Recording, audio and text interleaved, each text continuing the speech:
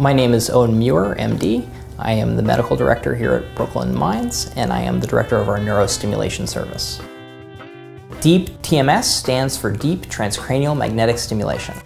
Our DEEP TMS machine allows us to treat people completely drug-free.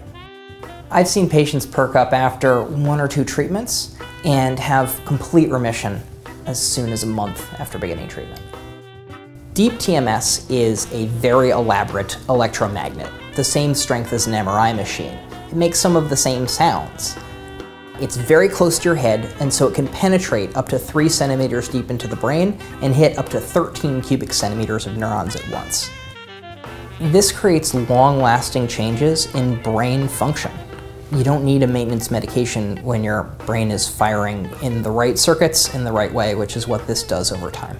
Sometimes it can make medicine work faster, but many patients are able to discontinue medications entirely. In addition to being a psychiatrist, I'm also the patient of another psychiatrist, and I've had this treatment myself.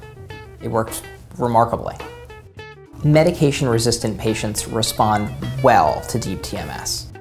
Deep TMS is a medication-free treatment, as in no medication.